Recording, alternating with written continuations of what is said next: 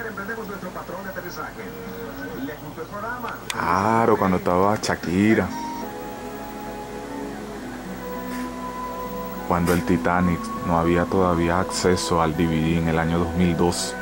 Y esta es una canción que de verdad fue la mejor, la de Titanic. Vean lo fea que se ve cuando estaba grabada por primera vez en VHS. No se burlen, fueron grabaciones humildemente en estos VHS.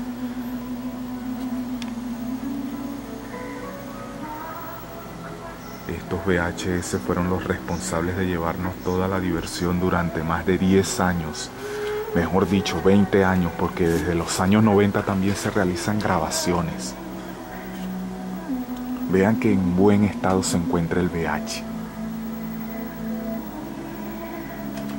Vamos a sacar la película. Damos clic aquí. Ahora observemos que tiene pulsa la cinta.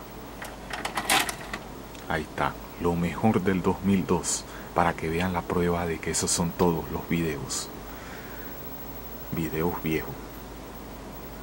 Hay que digitalizarlos porque como se sabe los VHS son de la época prehistoria y la gente se burla de uno.